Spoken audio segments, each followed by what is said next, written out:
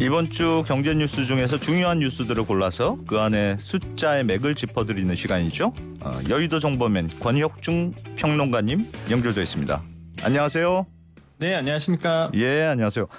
오늘 가져오신 숫자는 32%예요. 32%. 네. 뭐가 32%입니까? 네, 그 자동차 보험 중에서요. 그 예. 운행 거리에 따라 보험료를 할인해 주는 마일리지 특약이란 게 있는데 그런 게 있죠. 이 마일 예, 마일리지 특약이 주행 거리가 이제 짧을수록 이제 만기 때 보험료를 할인해 주는 그런 제도가 있습니다. 이게 예.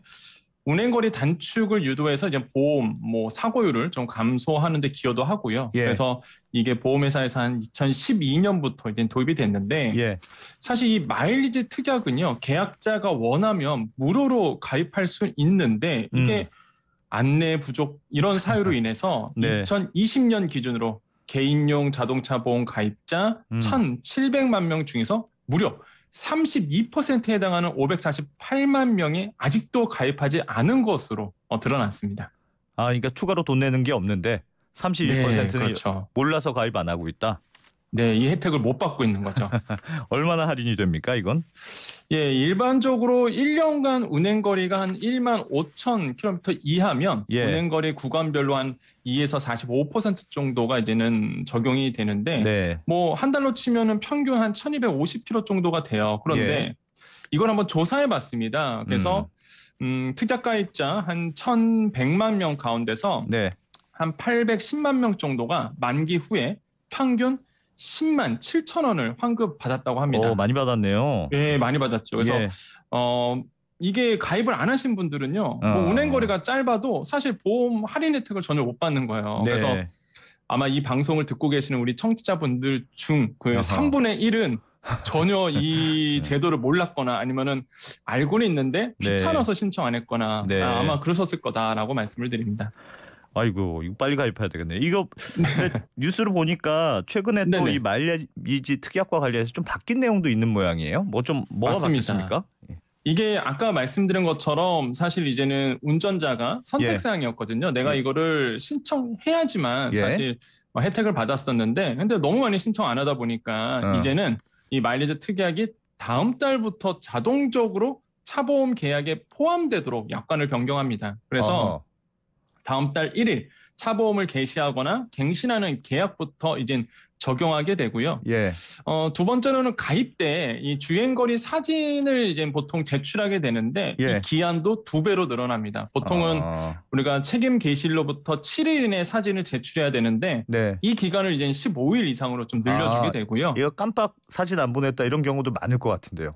맞습니다. 아. 그래서 이제는 그 기간도 늘려주고 예. 그 다음에 운영 방식도 좀 바뀌는데요. 사실 그 대면 가입 경로가 있죠. 우리가 보통 다이렉트 보험이 아니라 예. 어, 설계사 가입이라든지 대리점 가입을 하시는 분도 있는데 네. 근데 사실 이걸 또 조사해 봤더니 어, 이렇게 설계자 가입과 아니면은 뭐 대리점 가입을 통해서 예. 이런 미가입률 그러니까 이 특약을 미가입하신 분들이 45% 52%로 높은 편으로 나타났습니다. 네? 그래서 오히려 더 높아요?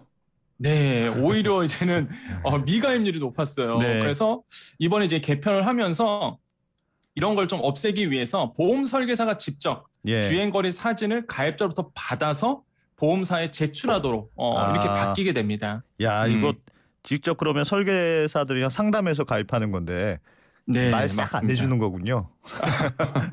알겠습니다. 그러면 이제부터는 내가 가만히 있어도 자동으로 네. 마일리지 특약에 가입이 된다. 앞으로는 맞습니다. 이렇게 이해하면 되겠네요. 네, 아, 맞습니다. 그좀 좋네요. 아, 보통 이게 마, 이 이제 만기일에 특약에 제가 가입했어요. 그러면 이제 네네. 얼마나 내가 달렸는지 증빙을 해야 될 거 아니겠어요? 그것도 네네. 조금 바뀌나요?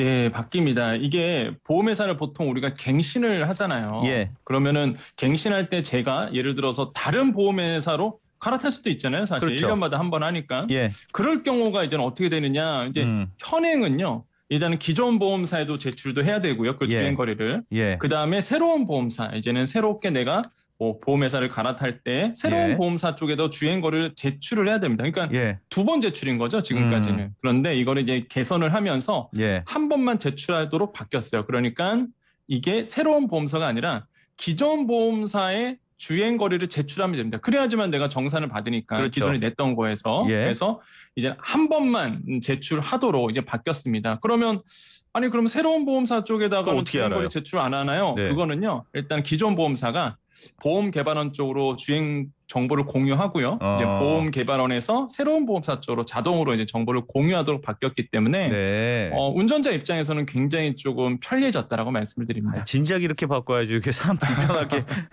만들어 놨는지 모르겠네요. 어, 그 좋은 네네. 변화네요. 만약에 내가 이제 특약을 가입했다가 만기 때 네.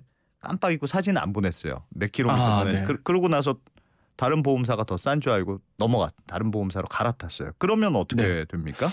어, 그 전까지는 정산이 불가했습니다. 그러니까 음. 주행거리 사진을 기존 예. 보험사에 제출해야 되는데 예. 말씀하신 것처럼 미제출한 거예요. 그러면 기존 보험사는 주행거리 정산이 불가하다 보니까 정산 안 사실 해주겠죠. 정산이 안 되잖아요. 예. 예, 근데 이젠 바뀌었습니다. 어떻게 되냐면 음. 어, 내가 이제는 새로운 보험사 쪽에다가 사실 음. 이제는 그 새로운 보험사를 해고 거기다 주행거리를 제출을 하면은 예. 이번엔 또 반대예요. 새로운 보험사가 주행거리 정보 공유를 보험 개발원 쪽으로 넘기고 음. 보험 개발원이 주행거리 정보 공유를 기존 보험사 쪽으로 통보를 하면서 예. 기존 보험사가 보험료를 환급해 주도록 예. 네, 그래서 이렇게 이제 개선이 바뀌었습니다. 그래서. 그 전까지는 정산이 불가라 그러면 이제는 환급이 시행이 될 수 있도록 이거는 이제 7월부터 이런 예. 서비스가 제공이 됩니다. 보험사들끼리 협력이 좀 잘 되는 모양이네요.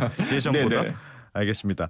그 마일리지 특약이 이제 보험사들마다 이제 다 들어가고 앞으로 말씀하신 네네. 대로 이제 가입하면 자동으로 이제 특약이 가입되는 구조로 바뀐다고 하셨는데 네네. 할인율이 다 똑같아요? 아니면 보험사마다 조금씩 다 다릅니까? 어떻게 네? 할인 네 네 말씀하신 것처럼 할인율이 보험사마다 조금 다릅니다. 예. 그러다 보니까 금감원에서는 주행 거리에 따른 보험료 할인율이 보험사마다 다르기 때문에 꼭 꼼꼼하게 챙기라라고 말하고 있는데요. 네. 어, 예를 들어 보겠습니다. 뭐 내가 그러니까 네. 본인의 그 평균 주행 거리를 아셔야 돼요. 연평균 주행 거리를. 그래서 어, 예를 들어서 제가 예. 어, 몇 년 동안 제가 봤더니 저는 한 9,000km 타는 거예요. 예를 예. 들어서 예. 1년에. 그러면 이제는 A라는 보험회사와 B라는 보험회사의 주행 거리에 따른 할인율을 먼저 보셔야 됩니다. 그래서 음, 9,000km 구간에 A 회사가 예를 들어서 17% 할인해주고 예. B사가 21%를 할인해 준다라고 아. 그러면 당연히 저는 B 회사를 선택하는 게 훨씬 더 유리하겠죠. 맞아요. 그래서 예. 예, 주행 거리 본인의 주행 거리를 먼저 좀 보시고 음, 거기에 따른 할인율이 좋은 보험에서 한번 보시는 것도 굉장히 좋겠다라고 말씀을 드립니다. 아 이게 자동차 보험 어려운 게 또 마일리지 할인 또 많이 해주면 또 다른 건 또 비싸고 네. 비교하기가 어려울 때도 있더군요. 아무튼 다 다르니까 꼼꼼히 확인해 보면 좋겠다. 네, 알겠습니다. 네네. 아 이거는 이제 보험사 이제 자동차 보험의 특약으로 하는 게 이제 자동차 마일리지인데 그거 말고 네네. 다른 네. 뭐 혜택은 없습니까? 내가 운전을 많이 안 한다. 사실 차에 집에 차는 있는데 네. 별로 많이 안 한다 하는 분들은 어떻게 뭐 받을 수 있는 거 없습니까? 아, 이게 없다고 하면 오늘 방송 제가 준비를 안 했을 것 같습니다. 예. 바로 그 자동차 탄소 포인트제가 있습니다. 예.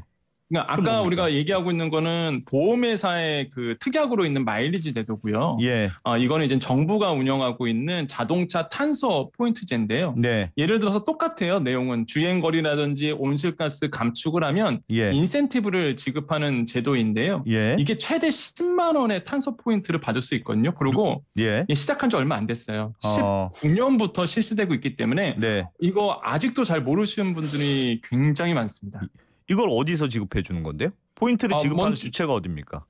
아, 주체 같은 경우에는요, 탄소 포인트제라고 해서 예. 실제 이거는 어, 운영하는 협회들이 있고요. 예. 그 중요한 것은 여러분 보셔야 되는 게 제가 오늘 이제 여기다가 전화를 했어요, 사실. 예. 왜 그러냐면은 궁금한 게 뭐냐면 이게 한국 환경공단에서 지금 운영하고 있거든요. 네. 근데 궁금한 게 그러면 우리가 금방 얘기했던 보험회사의 탄소 그 마일리지 제도 예. 를 들어서 이제는 특약 같은 요거랑 예. 한국 환경공단에서 정부가 운영하고 있는 이 마일리지 제도랑 예. 중복이 되느냐 음. 이게 이제 궁금한 거죠. 그리고 많은 예. 분들이 또 궁금해하시거든요. 그래서 예. 제가 탄소 포인트제 쪽으로 물어를 봤는데 아, 예, 중복 혜택이 가능합니다. 왜냐하면 어, 보험회사는 보험회사대로 가는 거고요. 예. 이 탄소 포인트제는 탄소 포인트제로 가기 때문에 어, 둘 다 혜택을 좀 받아볼 수 있겠는데 가장 쉬운 방법은요. 예. 홈페이지 가셔가 홈페이지 가는 건데 음. 뭐 포털에서 탄 자동차 탄소 포인트제라고 검색하시면 예. 이 사이트가 나옵니다. 그래서 아하. 거기에 가셔서 신규 참여자 아니면 재참여자면 재참여자 누르시고요. 예. 그다음에 자동차 원부, 그러니까 등록 정보를 이제는 등록 원부를 입력을 하시고 예. 그다음에 당연히 이제는 번호판 사진 찍고 음. 계기판 사진 제출하시면 되거든요. 예. 그러면 이제 주행 거리에 따라서 최대 10만 원의 어, 인센티브 포인트를 좀 받으실 수 있게 됩니다. 얼마 얼마나 많이 덜 달려야 포인트를 받을 수 있습니까? 네, 이게 주행 거리와 이제 좀 거리가 좀 있는데 감축률과 주행량을 같이 보거든요. 예. 예를 들어서 어 4,000km 이상 내가 감 어, 감축을 했다. 예. 예를 들어서 그러면은 그때면 이제 10만 원의 어, 금액을 이제 지원하게 되고요. 네. 예를 들어서 제가 뭐 1천 미만 이거는 실현 가능하거든요, 사실. 예. 예. 1,000km 내가 감축을 했다. 그러면 음. 2만 원의 사실 그 지원 어, 인센티브를 받게 됩니다. 아, 그러니까 이거는 예를 들면 마일리지 자동차 보험의 마일리지 특약은 뭐 얼마 미만으로 몇 마일 미만으로 달리면 뭐 할인해 줍니다. 이런 건데 이거는 내가 평소 달리던 것보다 얼마나 줄였느냐 이게 포인트군요. 맞습니다. 그래서 아. 제가 어, 감축률을 따지기 때문에 예. 어, 평소보다 얼만큼 줄었느냐. 그래서 아하. 그 준 만큼마다 정해져 있어요 금액이. 예. 그래서 어, 금액을 우리가 인센티브를 받게 되죠. 아, 그렇군요.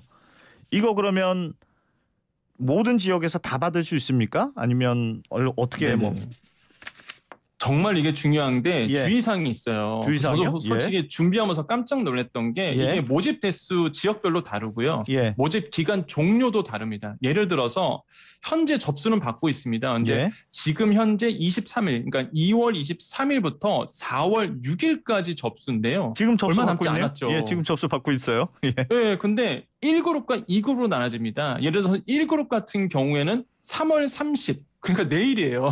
네. 내일까지 접수를 받는데 네. 부산 포함해서 경기, 특히 이 방송을 청취하고 계시는 경기 지역에 계신 분들은 네. 내일까지 이거 접수를 하셔야 됩니다. 내일 부산 오후 경기 6시까지거든요. 예. 뭐 대구, 인천, 광주, 대전, 울산, 제주까지가 예. 1그룹이고요. 예. 2그룹 같은 경우에는 이제 4월 6일까지 접수를 받는데요. 네. 세종, 강원, 충북, 충남, 전북, 전남, 경북, 경남 이렇게 두 굽으로 좀 나눠져 있다는 거 꼭 기억을 하셔야 되겠고 아. 다만 이게 친환경 차량이라든지 서울시 등록 차량은 참여가 제외되어 있습니다. 예? 뭐 뭐가 제외돼 있다고요? 서울시 예, 그- 네, 서울시는 제외되어 있어요. 왜 그래요? 왜 서울시는 안 됩니까? 아, 서울시는요 따로 운영하고 있어요. 승용차 마일리지라고 해갖고요. 예. 서울시 운전자들에게만 주는 또 비슷한 똑같은 제도를 운영 했기 때문에 아. 서울시의 운전자이신 분들은요 예. 여기로 가시는 게 아니라 예. 승용차 서울시 서울시 승용차 마일리지라고 치시면은 새로운 또 홈페이지가 서울시에서 운영하는 게 있습니다. 그래서 네. 여기에 가셔서 신청하셔야 돼요. 아, 복잡해요. 다시 한번 그 정리할게요. 그러면 서울에 네네. 사시는 분들은 검색창에 네. 네. 스- 승용차 마일리지 이렇게. 검색해서 들어가야 되는 거고 서울 맞습니다. 이외의 지역에 계신 분들은 하여튼 네. 내일까지 빨리 하면 네. 좋으니까 네. 그 탄소 포인트 이렇게 검색해서 들어가야 된다 이 말씀이시죠? 네. 어. 자동차 탄소 포인트제 이렇게 치시면 되겠습니다. 알겠습니다. 아, 그러니까 네. 네, 이게 서울시 사시는 분들은 꼭 예. 아셔야 돼요. 예, 아. 그래서 꼭 이쪽으로 가셔서 신청을 하셔서 혜택을 좀 받아보시기를 말씀드리겠고 무엇보다 여기서 만약에 포인트가 나오면요, 그 현금 전환도 되고 그 예. 현금 가지고 세금도 납부할 수 있기 때문에 아. 지방세 네. 어, 굉장히 좋은 혜택이라고 말씀을 드리겠습니다. 알겠습니다. 오늘 말씀 감사합니다. 네, 감사합니다. 예, 지금까지 권혁중 평론가였습니다.